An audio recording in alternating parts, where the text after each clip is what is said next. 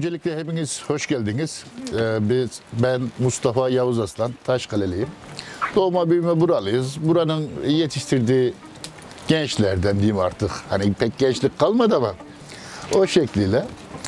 Ee, üç dönem Manazan mağaralarının görevlisiydim. Yani İşkur tarafından girilip Kültür Müdürlüğü ve nedir İl Özel İdaresi tarafından bakıldığı zaman ee, öyle gelen arkadaşlara, misafirlere yardımcı olurduk. Orayı bahsetmek gerekirse, yani ilk başta oranın tarihi tam detaylı bir araştırması yok. Şu anda detaylı bir araştırması yok. Hatta ben bahsetmeye başladığım zaman ilk başta levhasına bakarım. Manazan mağaralar derken orası insan eliyle kazılmış bir yaşam yeri. Mağara demek biraz ucuz oluyor. Yani oraya insan eliyle kazılarak yaşanmış, savunulmuş bir ibadethane olarak kullanılmış. Tam olarak bir tarihi belli değil. Beş katlı bir mesken, yaşama alanı. Nedir? Ee, onun gerçek yolu, sokağı, her bir şey ön taraftayken zamana dayanamayıp ön tarafı göçmüş. Yolu sokağı kalmayarak şu andaki gezilen, ziyaretçilerin gezdiği yerler onların şu andaki gizli geçitleri. Yani katlar arasındaki gizli geçitlerinden şu an gezilip çıkılıyor. Ee, onu kısaca bahsetmek gerekirse nedir? İşte bahsettiğim gibi 5 katlı, iki katı yatay bölümleri. Birinci kat ve ikinci katları yatay bölümleri. Birinci katında genelde kilise, şapel, toplantı alanları, ayin yerleri o şekliyle. İkinci katta ibadethaneleri. kilise, şapel, toplantı alanları o şekliyle. e, üç katta yukarısında var. Hum Kalesi, At Meydanı, Ölüler Meydan diye isimleri var katlarının. Bunlar halk dilinde konuşulmuş e, isimleri konulmuş. İçerisindeki simgelerden dolayı, oluşumlardan dolayı o şekliyle. Nedir? Kum Kalesi bazen internette yazmış bizim e, gelen giden ziyaretçilerimiz. Kum dökülüp de sıvalı olup da kum döküldü. Ne onun alakası yok. Orası sadece suyu stabilize etmek maksatıyla, suyu süzerek temiz su kullanmak amacıyla kum çekilmiş, dökülmüş. Sarınışlarda depolarında toplanarak içme suyu elde edilmiş o şekliyle. Te, suda temizlenmiş. Oradan ikinci bir bacayla at meydanına çıkılıyor. At meydanı geniş bir alan. Ee, nedir ölçülerini vermek gerekirse 5,5 metre yüksekliği, 4 metre genişliği, 76 metre derinliği, 60 tane odası olan bir alan. At arenası yapıldığı tahmin ediliyor. Yani nedir? Orada yüksek rütbeli kesimler orada yaşıyor. Çevredeki beylikler, köylükler toplanıp gelip orada at arenası, at gösterisi yapılıyor. Onlar da nedir? 3 yıl, 5 yıl bir koruma altına kimin atı hediye edilirse, beğenilirse o beyliği, o köylü 3 yıl, 5 yıl bir koruma altına alınıyor. O şekilde. En üst katın ölüler meydanı denilmesi de bu başındaki bahsettiğim savunmayı yani orada komple savunmaya ait bir şey. Savunmayı aşarak oradaki insanlara toplu bir intihar mı veya bir katliam şeklinde mi? Başı kesik 3-500 tane ceset olduğundan dolayı Ölüler Meydanı diye ismi veriliyor. Nedir? Bir tane de hala Karaman Müzesi'nde teşhir ediliyor, gösteriliyor. Başı kesik bir bayan cesedi olarak. O şekilde yapılmış. Ee, nedir işte bahsetti, başında da söylediğim gibi tam tarihi belli değil şu tarihte kazıldı şu oldu diye ama geç Roma erken Hristiyanlık dönemi denilen bir dönemde yaşanılıyor. Öbür taraftan 1050 bin Malazgirt Savaşı'ndan sonra Türklerin gelerek yani oralarda korunduğu, oralarda yaşanıldığı daha sonra işte Anadolu'ya e, Osmanlı'nın geldikten sonra ta ki 1800'lü yıllara, 1700'lü yılların sonlarına doğru, 1800'lü yılların başlarına doğru ya kadar yaşanılmış orada.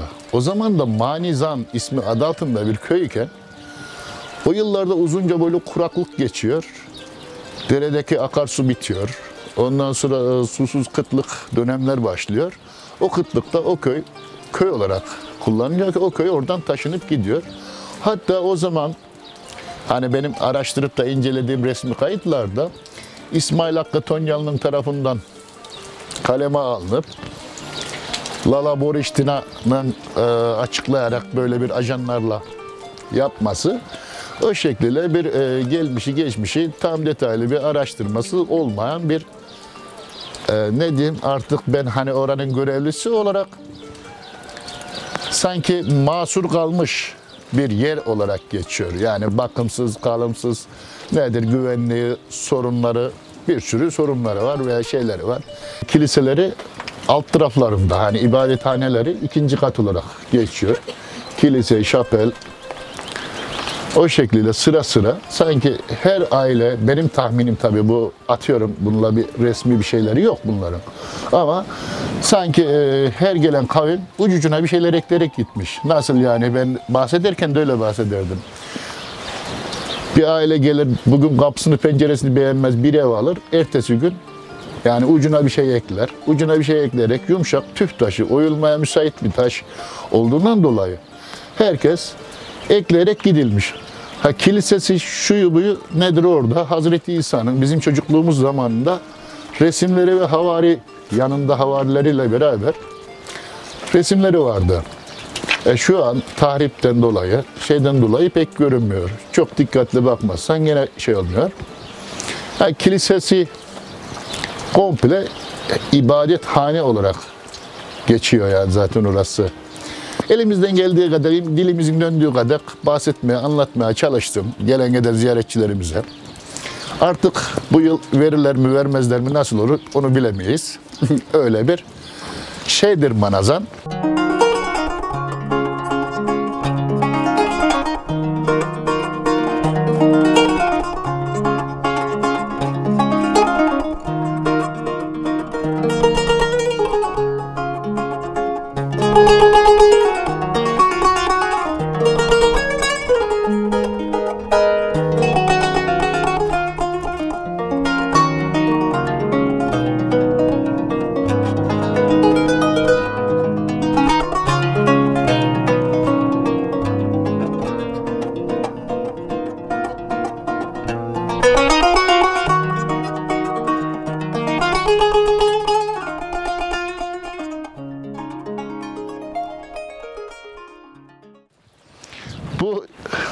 Kendi şeyim aletim de yani aletim diyeyim artık.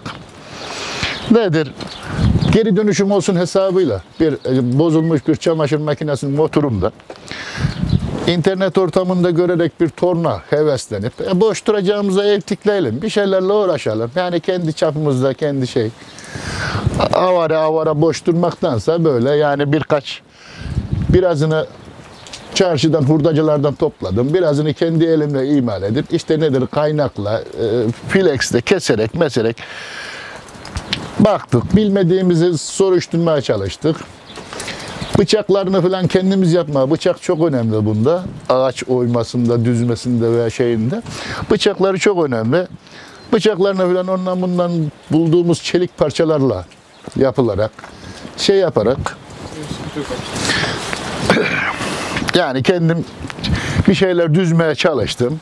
Birkaç şeyler yaptım. Çok şey yapmıştım ama işte genelde bunlar şamdan gibi, süs eşyası gibi, biblo gibi. Yani büyük çapta olamıyor zaten. Ee, büyük ağzı geniş değil, şey değil. Nedir? Motoru döndürmesi bile bir sıkıntı. Ayrıyetten bir buzdolaplarında, şey çamaşır makinelerinde ayrı bir motor sistemi var. Çünkü bir yıkama devri, bir sıkma devri. Ben sıkma devrine göre ayarladım. Bu devre hızlandırmak, yavaşlatmak için vites sistemi hesabıyla 3 kasnak, bir yandan 3 kasnak yani 6 vitesli olur hesabıyla yaptım. Normal bir şip tutan şeyle yapıp bu şekilde yani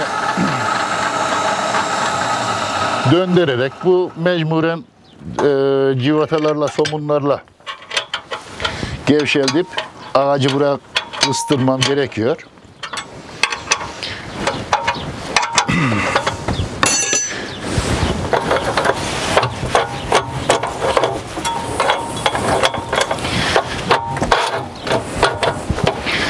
Bunu yaklaştırıp uzaklaştırıp ve civatayla sıktırabiliyorum bunu ben.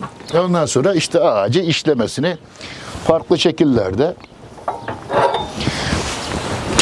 yani bu e, bir evtik va- vakit geçirme ve de geri dönüşümü olması için öyle bir şey icat değil bu zaten. Fakat e, ne diyeyim boş adamın düşünceleri o şekliyle.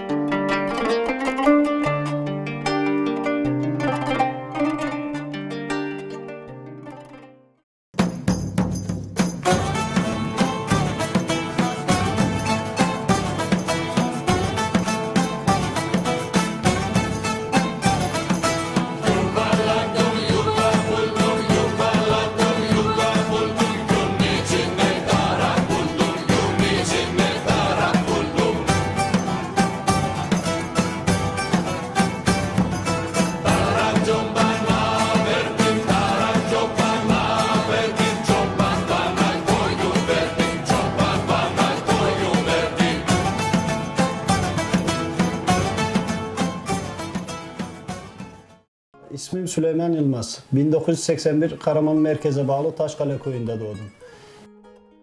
Cesu mağarası toplam uzunluğuyla 1356 metre olup Türkiye'nin 3. uzun yeraltı doğal karstik mağarasıdır. İlk girişte 7 metre derinlik, toplam 31 basamakla 7 metre derinliğe inilir. Hafif tatlı bir eğimle mağaranın sonuna 1356 metreye inildiğinde o 7 metre derinlik maksimum 21 metre derinliğe iner. Mağaranın ilk girişinden itibaren e, çeşitli galerilerimiz mevcuttur. İçlerinde işte mağaranın oluşumları olarak dikitlerimiz, sarkıtlarımız, kolonlarımız, traverten havuzlarımız, bayrak oluşumlarımız, makarna oluşumlarımız, pipet oluşumlarımız ve e, birkaç tane e, insan kulağını andırır gö- görüntü var. Artı e, fıskiye benzeri oluşumumuz. Sonra e, Galata Kulesi'ne benzetilen oluşumlarımız var. Tabi insanların hayal gücüne göre farklı farklı yorumlanabilir şeylerimiz var. Gezilebilecek alanımızın tamamı toplamda 1050 metre olup yürüyüş yolu ve aydınlatması mevcuttur. Geri kalan 306 metresi gezicilerin gezmesine kapalı bir alandır. Bu sağımızda gördüğümüz galeride mağaramızın en güzel galerilerinden biri. Sarkıtlarımız, dikitlerimiz, kolonlarımız, e, bayrak oluşumlarımız, e, yukarıda makarna veya pipet oluşumlarımız, hemen hemen mağaramızda bulunan oluşumların hepsinin bir arada toplandığı bir bölümdür. 900 metre gibi e, bir mesafedir.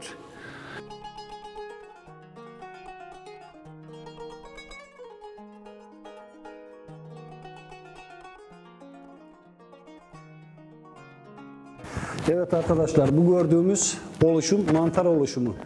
Türkiye'de daha hiçbir mağarada görülmüş, tescillenmiş bir örneği yok. O yüzden oluşum bakımından Türkiye birinciliğine sahip bir mağarayız. Şu yanlardaki gördüğünüz e, çizgilere dikkat ederseniz onlar da suyun maksimum çıktığı seviyeyi belirtir.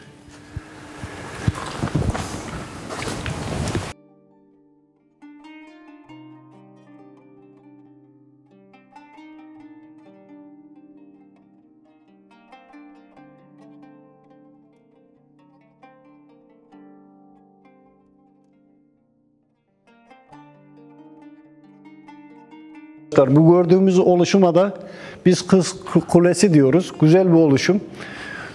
Dikit bir kısmı maalesef doğal yollarla veya insan eliyle tahrip edilmiş. Tam bir bilgimiz yok çünkü üzerinin oluşumu kapanmış durumda kırık yeri. Bazı insanlar cami minaresine benzetebiliyor. Kişilerin hayal gücüne göre değişiyor tabii ki.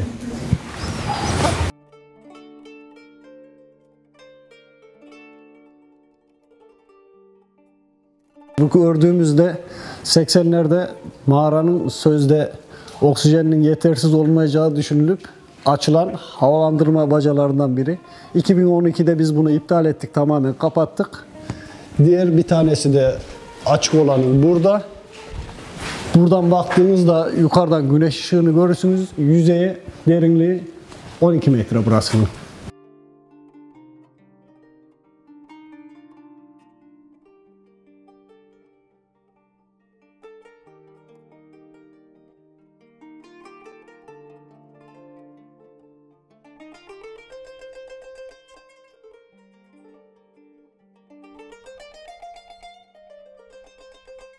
Arkadaşlar bu gördüklerimiz de sıralı traverten havuzları. Sonbaharda geldiğiniz zaman tamamen boş olur. Ama ilkbaharda geldiğimiz zaman havuzlar tamamen dolu ve su akışkan haldedir. Sessiz olduğumuz zaman su sesini rahatça duyarız. Burası Pamukkale'nin farklı bir versiyonu. Orada yer altından çıkan sıcak sularla oluşur. Biz de burada yüzeysel yağmur ve kar sularının erimesi sonucu oluşan oluşumlarımızdır.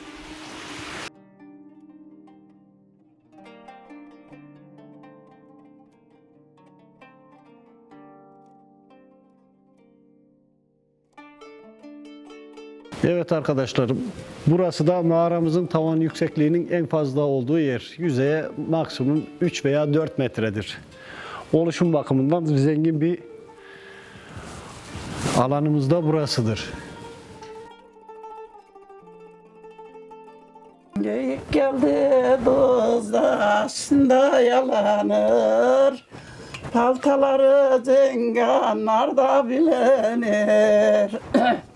bilenir Kapayın kapıyı. Kimse ölmesin.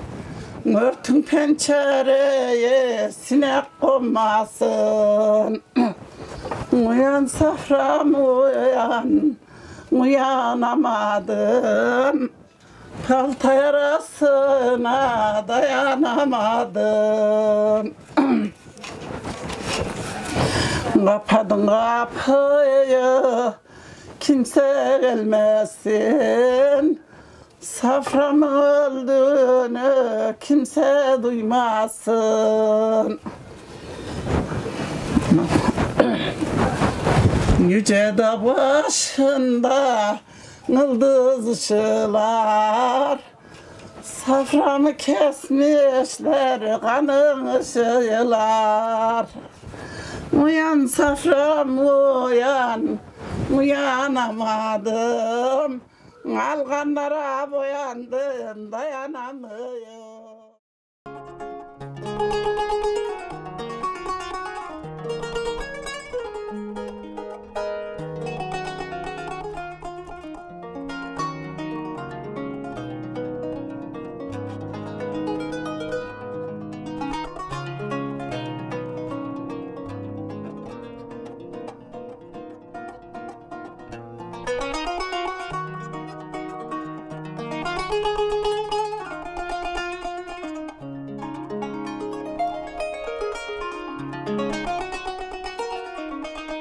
Karaman Taşkale'den Reyhan Marda. Ben ev hanımıyım. İki çocuk sahibiyim. İş olarak da halı, hobi olarak halı yapıyorum. Sadece bahçe ve ev işlerine bakıyorum.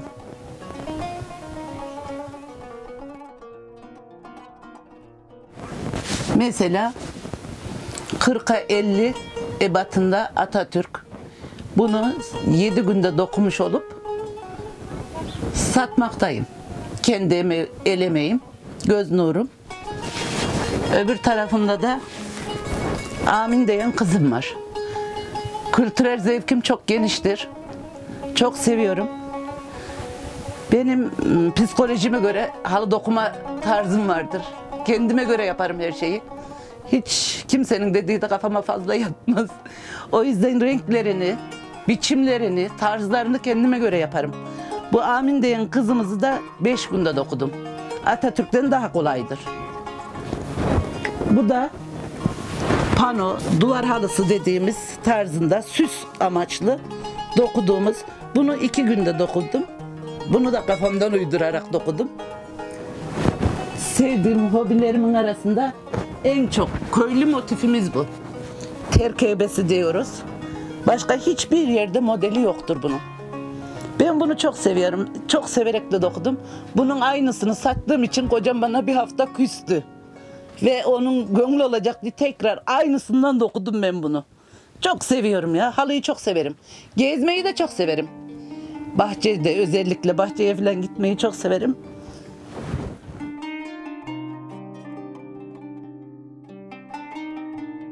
Mesela benim e, daha bir hafta önce kestiğim halımdan 36 tel çözdüm.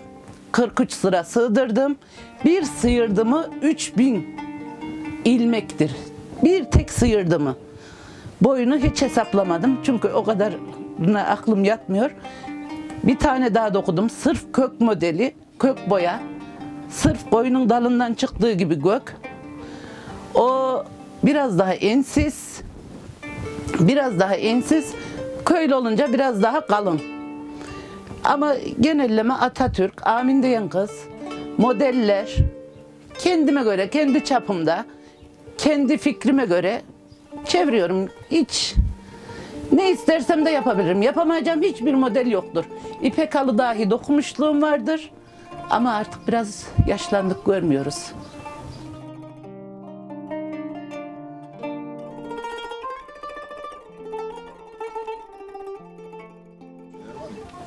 Valla bizim burada her kızın cehizinde bir köylü halısı olur. Makine bizi işlemiyor. Biz biraz kültürel olarak, düşünce olarak ilerideyiz. Yalnız bu halı konusu oldum ya. Herkeste bir döşeme halı, bir seccade, her genç kıza. Bir de e, böyle süsler. Her kızda olur aşağı yukarı. Biz modern kültürel olarak zengin olabiliriz ama modernleşmeye ben karşıyım. Modernlik ne çapta onu anlayamıyorum. Yani hiçbir kültürümüzü unutmamamız lazım bence. Benim fikrim tabii ki de bu.